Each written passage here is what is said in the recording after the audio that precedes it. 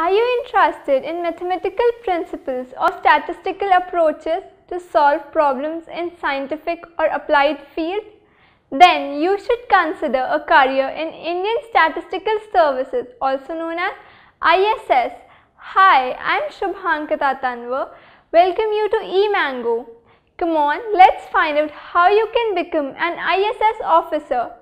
The ISS officer evaluates the statistical method and procedure which are used to obtain data to ensure validity, applicability, efficiency and accuracy.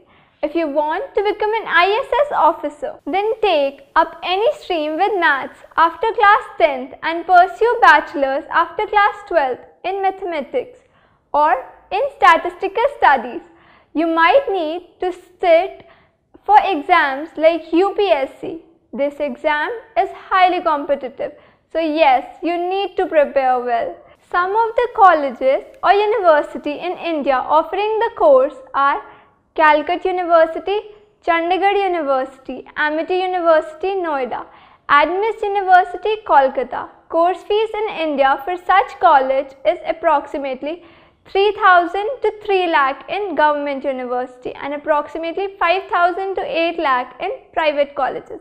If you are enterprising, conventional and social and possess skills such as critical thinking, mathematics, inductive and deductive reasoning, then we strongly suggest you this career. Salary in India are approximately 8.30 lakh to 33 lakh depending upon the amount of experience you gain. Did you find this information useful? We can help you with much more. We at eMango understand that your career will be best fit for you only when it suits your personality and interest.